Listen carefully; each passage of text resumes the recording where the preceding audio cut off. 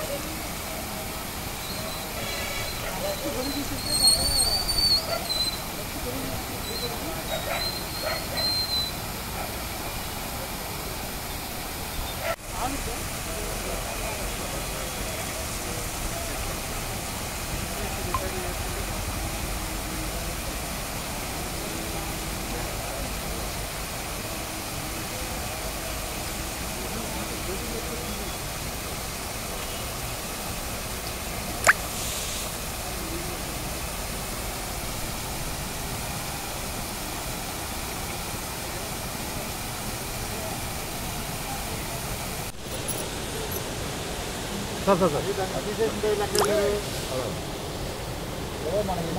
sir